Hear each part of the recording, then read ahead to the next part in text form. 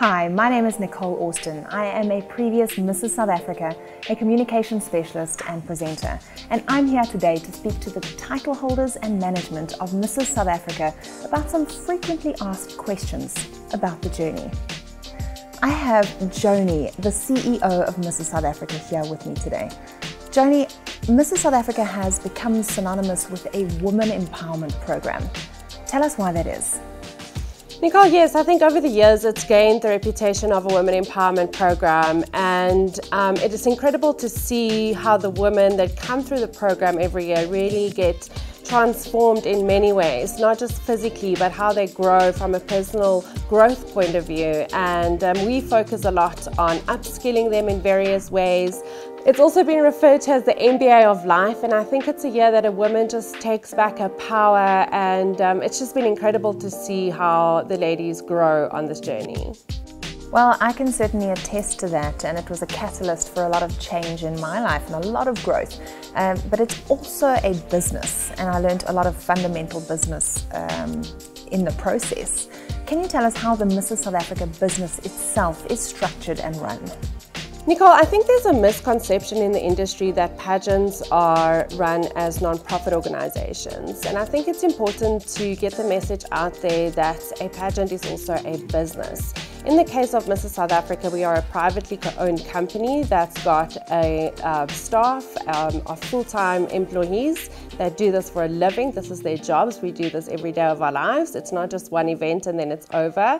And, um, you know, we have overheads and running costs like any other business. And tell us about how your business has weathered the storm of COVID 19. How did this and lockdown affect your business? I'm not going to lie, it hasn't been an easy year. Um, being in the entertainment and event industry, we were hit really, really hard financially.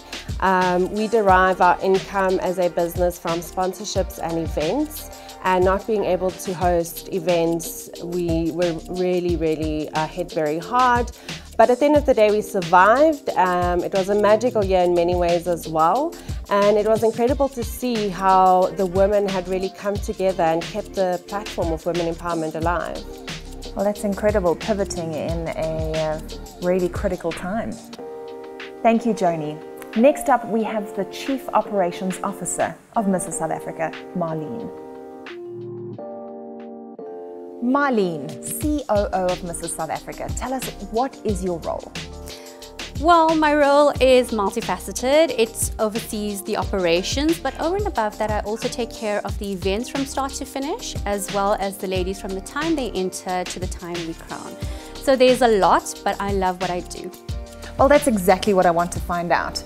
What is that journey and what is the operational process that you take care of from start to finish?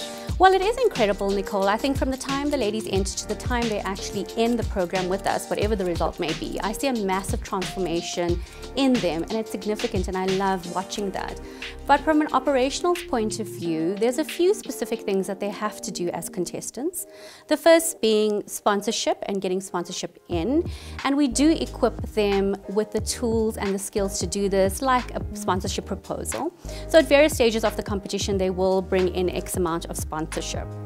The second thing that they do is that they do uh, ticket sales for the events that we're hosting um, in our calendar, and that is purely then to support the income towards the operations of the business as well. And I think lastly, one of their main tasks is to assist with Women for Women, our NPO, and raising awareness for that. Our semi-finalists are really focused on raising awareness, but when they become finalists, they really do become more involved on the fundraising side of things, and they would host an individual fundraiser for Women for Women as well. The proceeds of those fundraisers do go directly to Women for Women after we've covered our operational costs as Mrs. South Africa. So certainly all of these responsibilities in the journey of the contestants themselves is actually growing their own skills in terms of event management, um, engaging with sponsors, and being able to generate interest in what they're doing, um, which is all skills that they're benefiting out of the program. And tell us, I see it's something on your yes. lap. That is an operations manual, am I right? Yes, that's right. So this is our operations manual. We've spent a lot of years actually perfecting this, and it's really meant to be the guidebook for the contestants through their journey from the time they enter and really supposed to just help them and guide them about how to do things, how to do social media, how to do branding, who to contact for an invoice, what the events will look like. So we put together this quite comprehensive guide for them and the first workshop we have with them, we give it to them so at the very start we're very transparent about what they need to do and how they will do it. It also outlines then the very important judging process which they will be involved in as well. So this could be called the MBA of Life course material? Definitely. I think I've been I've heard it being referred to that. You mentioned the judging process. Can you take us through that briefly? Sure, I think everybody's keen to understand how that works. It is something we are very transparent about. There are two judging processes during uh, the competition, one at a semi-finalist stage and one at a finalist stage. Both we outline very clearly in the operations manual and we take the ladies through it as well in various workshops. It is independent, completely independent and run by independent auditors outside of the management team.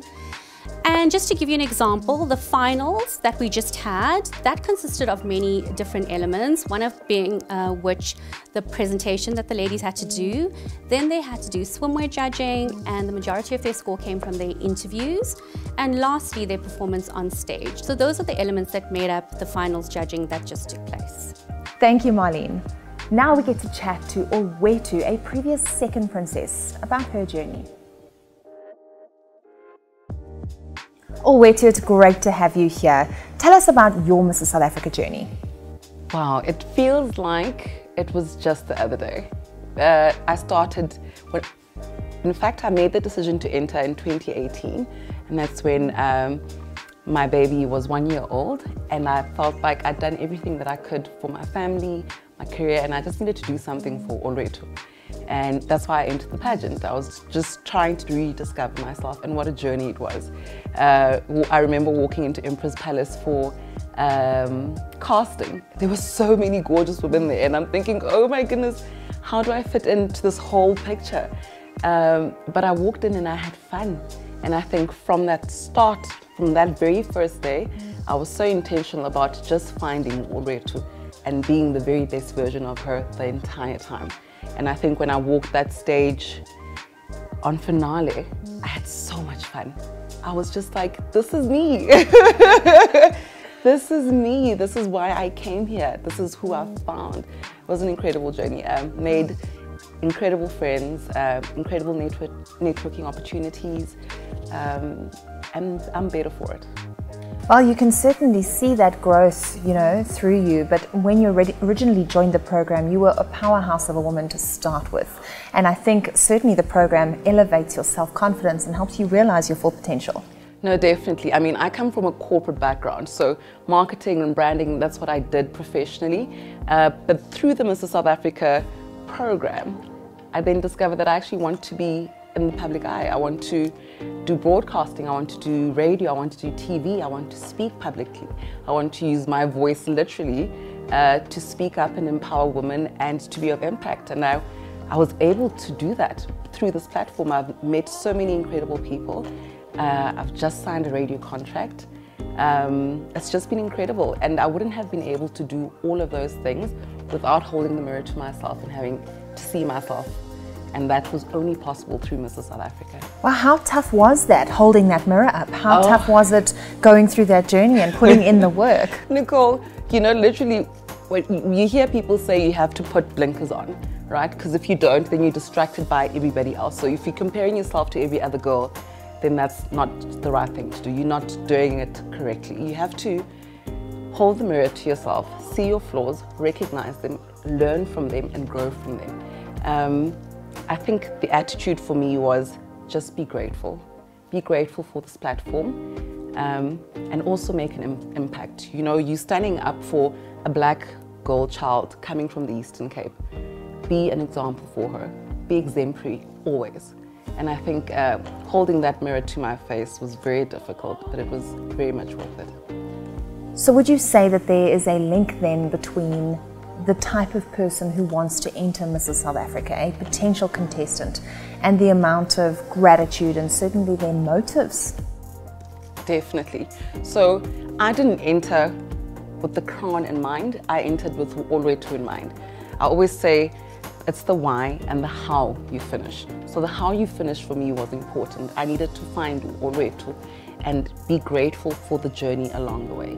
So if you don't have a heart of gratitude, you don't have the heart that it requires for you to lose gracefully, to win impactfully, then you shouldn't be on this journey. Uh, it's, it's hard work. It's lots of introspection, uh, very satisfying at the end. But if you're only doing it for the crown, then it's not worth it. Perfectly said from the powerhouse herself, who has also recently been on the other side of the judging panel, one of the recent judges for the latest Mrs. South Africa crowning. Tell us about that experience. So, completely different experience, and I must say, quite a difficult one. Nicole, I think having been a contestant yourself and a judge, you understand that sitting on the other side and seeing those ladies put their hearts out on the stage, literally bear it all out, even through interviewing. It's your heart, you want to empathize. And I think it's so important and appreciate the fact that we, we are given a limit on how low we can score an individual because we have to recognize the fact that every single person that walked that stage showed up. They put in the effort, they put in the work throughout the year, and they were there fully. So we can't score below a certain point, which I really appreciated um, the decimal points. That's how scoring tight. You have to be so clear and specific in the type of winner that you have in mind that you don't have a bias against the other girls. So you're scoring within a boundary, and if you're scoring 16.7.1, then you know how tight it is. Um, because this year was the longest year it was a 15 month race to the finish, right? So those ladies were so invested in that entire process. Um, I was crying at some point in the judging throughout the interview. I had, we had to take a break because, because to see their lives impacted like that was really, really moving. And to understand that there could only be three at the end and one at the very, very end was heartbreaking. Um, but the process was fair, and that's all that we can say. Uh, auditors were right behind us the whole time. Um, the head auditor just kept saying, remember to do a decimal point, we're not rescoring. I think their job must be the toughest of all, um, but emotionally, certainly for you guys, very yeah. tough indeed, and especially uh, you being so recently self invested. Yeah. So, thank you for your contribution to Mrs. South Africa. No, definitely. Um, I think Umatapa did a, a post a few, a few weeks ago where she was just um, reaffirming the integrity of the judging process and just stating that, you know, finalists looking in think they can be referee and be the players on the field, but you can't do both. That's why an independent judging panel is appointed and is audited. And there's proper governance structures, there's checks and balances, um, so it has to be completely independent. And because you don't have the objectivity to, to be a player and a referee, you have to trust the judging process. Uh, and I'm very honored to have been part of both sides. And I'm super, super excited about our queen. I think Utenji is absolutely perfect for the role. She's earned it. She's graceful. She's a powerhouse. She's going to be of impact. Absolutely, and uh, you know, I think it goes back to somebody's motives mm. when they enter. Mm. Is the motive the crown or is the motive the growth? Exactly. And that growth is so satisfying despite uh, all the challenges you encounter along the way. To all of those women who didn't get the crown mm. and who would walk away from this process, what would your words of encouragement be? So there's a saying that goes, sometimes you win and sometimes you learn. I'd like to add to that, sometimes you grow. So the winning isn't in the crown, the winning is in the process, it's in the journey, it's in the refining. The winning is in finding you. So if you didn't get the crown, you won because you found you. And if you're true to that, then this whole journey was absolutely worth it. Truer words have never been spoken. We now get to speak to a previous queen, Jacqueline Ferns. Jacqueline, as the longest reigning Mrs. South Africa during a global pandemic. We just want to know how did you do it? Yeah, I think every time somebody asks me that question, um, it's, it's a profound question to me because it just showcases how strong the sisterhood is. I could have never done it without you, without Matapa, without the whole support of the Mrs. South Africa team, without my previous um, finalists and sisters. Um, you know, there's this one saying that a man is not an island, and I truly capitalized on that. I'm not an island, and I just pulled from every single part that I can, you know, that's inside the whole Mrs. South Africa organization. Um, it was a wonderful journey, and I think I just built such strong relationships with everyone during the journey. And because it was so long, you know, it's exhausting. So you, you need you know your sister's help you need the support of other women.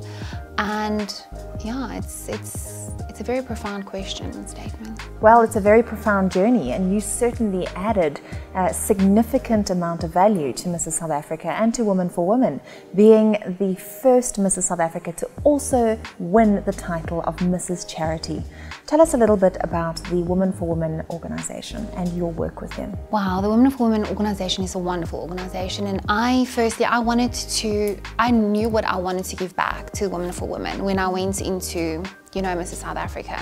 I've been working with Women for Women prior to becoming a finalist um, as I owned an ACE Models. And each and every year we have this program for young ladies, for disadvantaged young ladies within the communities and um, where we teach them life skills and things that your mum is supposed to teach you or your grandma teaches you. They don't get taught these things. So Women for Women put uh, this package together and it's the most amazing package of life skills. It's like this crash course in life skills. Um, and I saw the difference it made in these girls' lives. I mean, because of that course, we got two girls accepted into universities that got the worst grades at school, but they just started knowing who they are. They, they knew their worth, what they wanted to do with their lives. They know that their life is worth living and their dreams are worthy. They are worthy of dreaming big. And Women for Women just helped them and contributed so much towards my organization with these young girls. And you know, so I knew what I wanted to give back to Women for Women, never thinking that I would win Mrs. Charity as well. But I just had this amount that I wanted to give to them so that we can further educate the young girls throughout South Africa. And wow, I can, I wish everybody knew what they do for the young girls in this country. And you know, I always just think, imagine if we can implement this program in each and every settlement throughout South Africa. Imagine the difference we can make. If a woman just knows her worth from a young age, if a girl knows her worth, you know, but break down stereotypes like gender-based violence. You know, we, those things won't exist because she would know when to walk away. She would know she's worthy and she would not stand for things like that. Um, so to me, they really did so much. And I mean, throughout lockdown as well, they contributed um, quite a large amount to, you know, the feeding, the feeding scheme that we had um, in Limpopo. So yeah, Women for Women really has been there through every aspect of my journey. And I just thank them for that. Well, we thank you for your 15 month contribution, and uh, I, it's really great and refreshing to hear that it is not a journey about a crown. No. And I think that that is probably the biggest misconception, correct? It is. I think if you enter wanting to win the crown, you're entering with the wrong perspective. You have to enter because you want to empower. And if you enter with the right perception of that you are entering to empower young women or entering to empower women your age, then enter Mrs. South Africa. But if you enter to become Mrs. South Africa or to want to be famous, like they say, then don't enter because you're not going to enjoy the journey because you will change, you will be pushed out of your comfort zone. I mean, you know, you do things that you never even thought possible. I think the evolution of who you are into who you become throughout this journey, it's something incredible. And I see it in each and every year, I can see it in the woman. You know, you see this woman she's entering now, and then you know within 10 months she's going to be completely different. I literally get goosebumps if I talk about it. I see a, a, really big self awareness and also an awareness of how you can add value to other people's lives. Especially, yeah, and especially through Women for Women as well. Um, you know, if me being now Mrs. Charity as well, I really saw the change that affected me through working with these young ladies. You know, you're always, you go in with the mindset that you want to make change and you want to be the change. At the end of the day, I was the one that was changed. My eyes were opened to, to what truly the significant problem that we currently have in South Africa amongst our women and amongst our girls. And um, that changed me, it changed my perspective, and it just kind of fuels your fire to want to, do more. So, Jacqueline, tell us, what would your words of advice to new contestants be? Enter with the heart to serve and be authentically you. Just be you.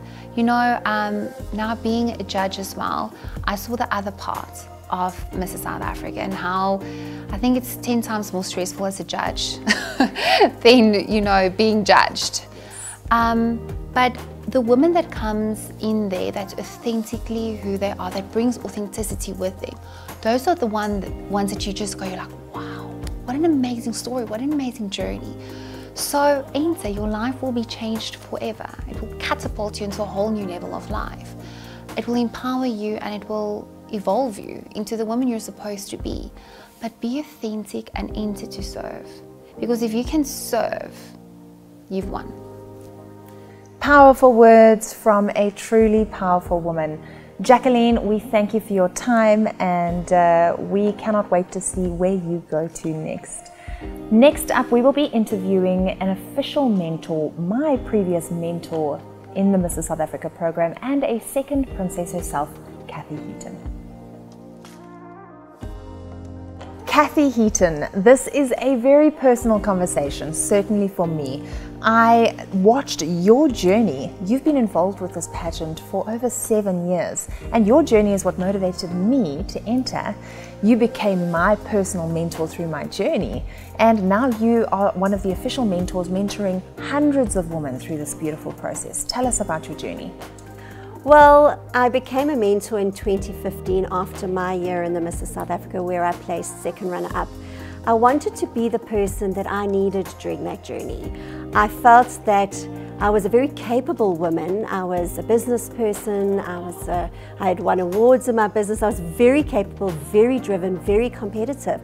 But there were aspects of the competition that I did had, I had no idea how to tackle. And I felt that I was in this great big ocean and I was scrambling for a lifeboat. So I wanted to be that for the women going forward. And I developed the mentorship program to support women, to hold their hand through the journey, and to make them realize that in these tasks that you are given in the Mrs. South Africa, they're not there to make you fail. They're there to challenge you, there to step out of that comfort zone that we always talk about, but to really grow through this journey. And it's been one of the biggest privileges of my life to work with hundreds of women every single year and impact them in a positive way. Well, certainly talking about working with women and being a contestant yourself, you've seen and put in the blood, the sweat, and the tears. Um, tell us a bit more about that. Oh, absolutely. You know, it is a, an enormous journey to go on. It is a journey not only of growth, but a journey of um, you know, physical transformation, mental transformation, spiritual transformation. People don't realize that. They look at it and they say it's a pageant. It's all about the beauty, and it really isn't. It's about how you are going to be empowered. How are you going to change your life? Because this is career changing, life changing, um, self esteem boosting this journey. And, and I really, I always go back to what Joni Johnson's vision is for the Mrs. South Africa, and that is not to find a Mrs. South Africa every year. It's to empower hundreds of women from all over South Africa, from all walks of life.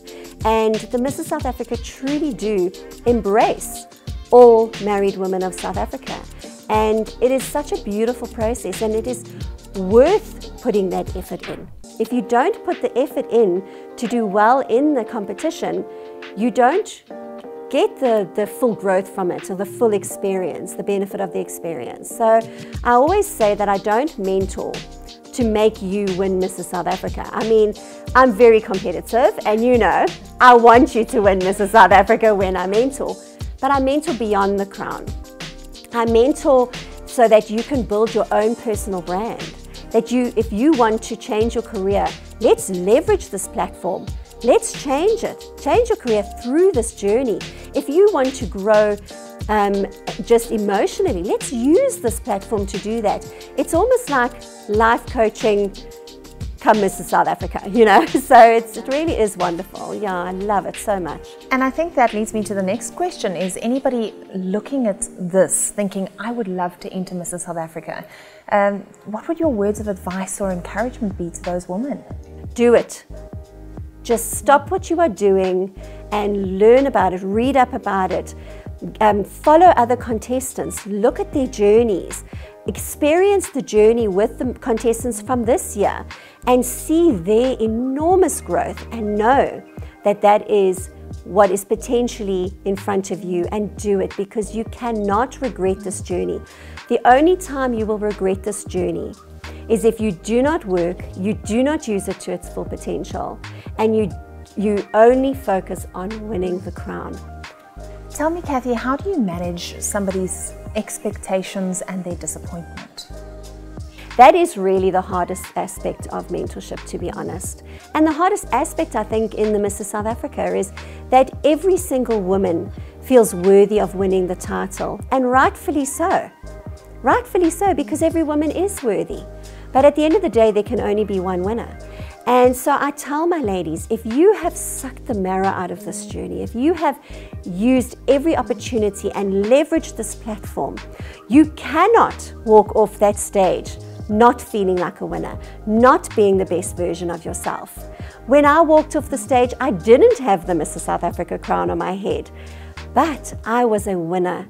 To every single person who supported my journey, who followed my journey, I was their Mrs. South Africa. I was their inspiration. And I supported our Mrs. South Africa. I got behind our Queen, and I do every single year because that is what sisterhood's about. It's about supporting someone when they do well. It's not about looking at another beautiful woman and saying, I can't appreciate her beauty it makes me less beautiful to appreciate her beauty. That's nonsense. A beautiful woman can recognize the beauty in another woman, can recognize her strength, can recognize her, her abilities, and know that she too has that. It doesn't diminish that. So if you can walk away with that attitude, you've not lost. You've only but grown. And I think that is, I always tell my ladies that to try and manage that expectation. Focus on what you've achieved through this process, and you will be amazed at your own growth and you will feel like a winner yourself. Kathy, do you think that it's a sense of maturity that develops through the competition? That you're there to learn, to grow, to give, and perhaps that maturity even continues to develop once you walk off the stage without a crown? Most certainly. You know, I think especially if you're a mother, I always say to the ladies, be cognizant of who's watching you because this is a teachable experience, a teachable moment for you as a mother to teach your children how to handle disappointment, how to be gracious when things don't go your way. And it's the same with the winner, being humble in your victory. You know, so that is also a teachable moment for people who are watching you, not just your own children, but your husband. How does he perceive, you know, this journey that you've been on, and how will you behave afterwards? What good did you take from the journey? And certainly that maturity even translates into taking really tough advice from a mentor.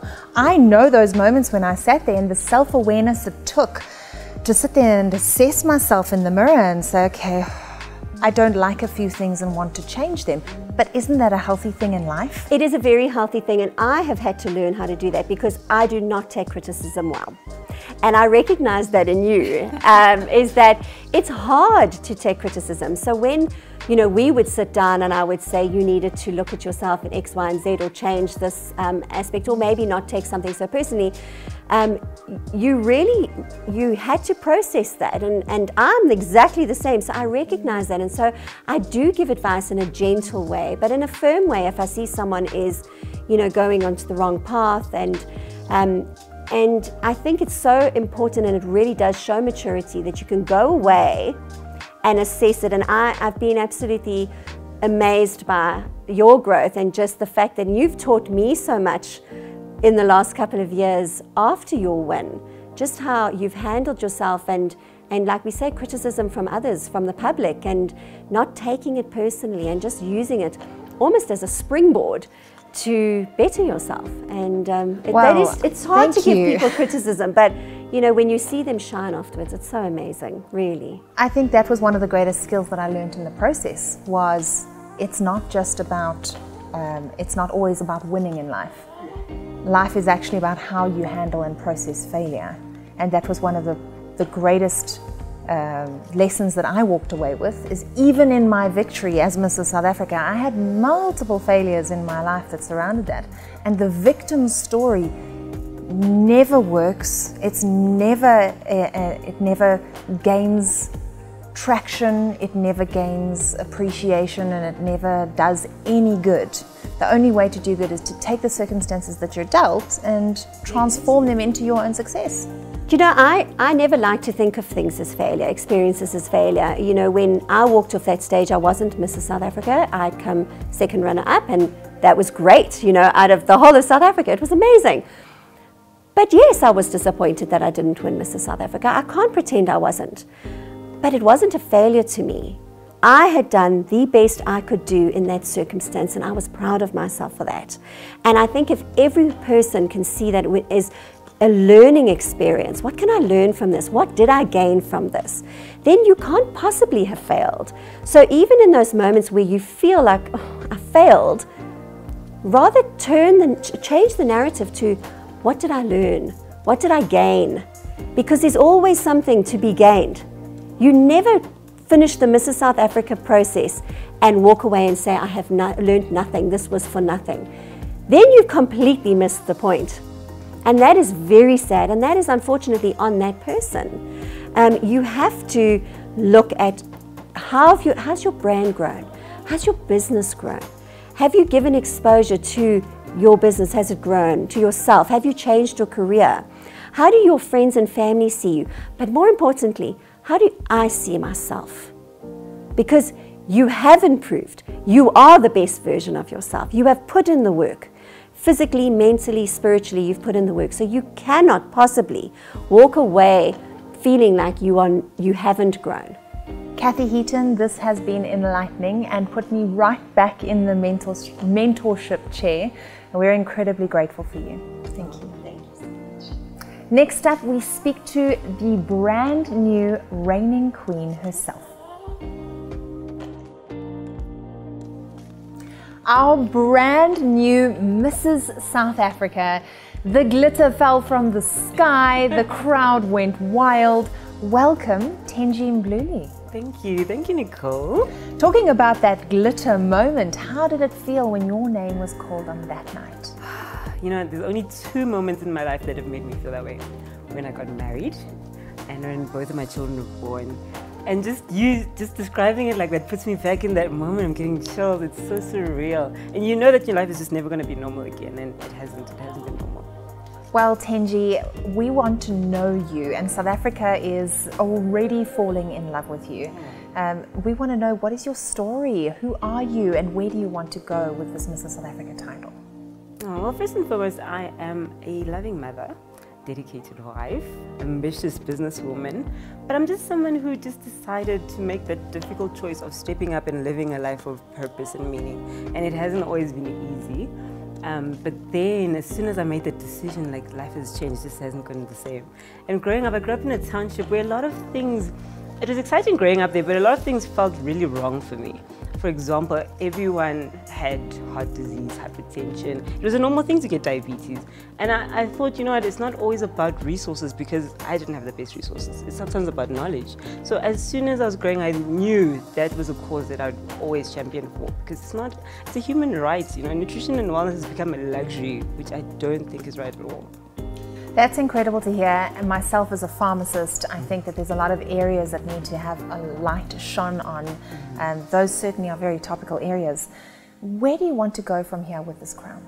Um, oh, the dream is so big. But I think when I got into the journey, I said, I'm not going to limit myself anymore. So I'm going to just shoot for the stars. I'd love to, I'd love to plant a garden in every school in the township. Wow. And honestly, it's not just about the health and nutrition, to start the conversation, but to also get the community self-sufficient. So I know it might not be possible, but that's fine. I think I just want to get a movement going and then have it pick up momentum from there. And that's what I want to be my legacy. Well, that's incredible. And I think already you've started a legacy of authenticity. And tell me, how important is this as a concept to you? I actually didn't even, I didn't even think it was something that I could think about, but I love how the Mrs. SA has embraced me for who I am because I've never tried to be anything else. And that shows that you can be who you are because I've always championed for being unique. Everyone has a unique special talent and we don't, and social media makes us clone each other and want to be a certain person. But we all have this special message to share and if everyone hones in on that and just shares that, and then that's what the world needs right now. You couldn't have said it better, hit the nail on the head in the most authentic way. Tenji, thank you for your time and all the best on your beautiful journey ahead. To wrap up this chat, we get some final words with the CEO of Mrs. South Africa, Joani.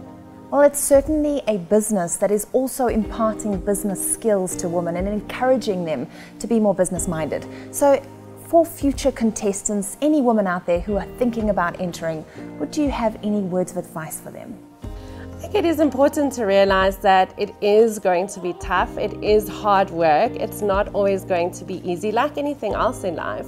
But at the end of the day, that's what pushes you out of your comfort zone. That's when the growth happens, and that's where you find the magic. And I can guarantee you that you are never going to be the same after this year.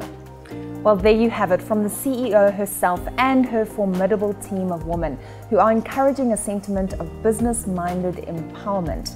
And uh, it is something truly remarkable, especially considering the times we have just been through. Thank you to Mrs. South Africa.